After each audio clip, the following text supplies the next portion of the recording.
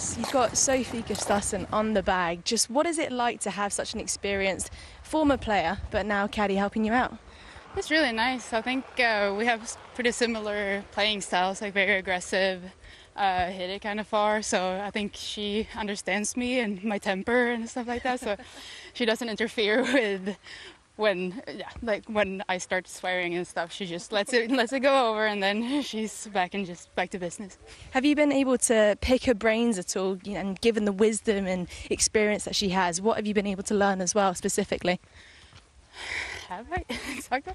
I think she's trying to put things in like all the time. Like she, like during practice runs, uh, she she throws a ball and says hit it here, and then I try to hit it and I don't hit it very well. And then she's like, well, try this instead. So she shows me like very practical stuff.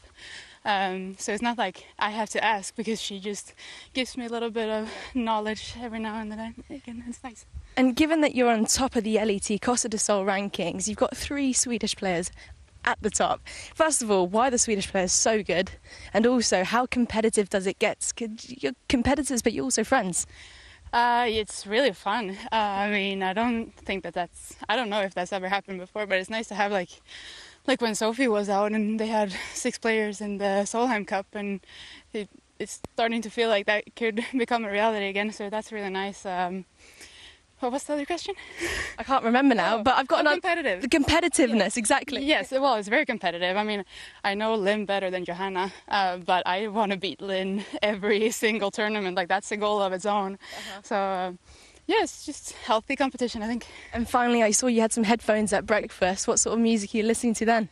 At breakfast, it's pretty calm, Okay. but then I think like right before the round, I get like Green Day and Blink 182 and stuff.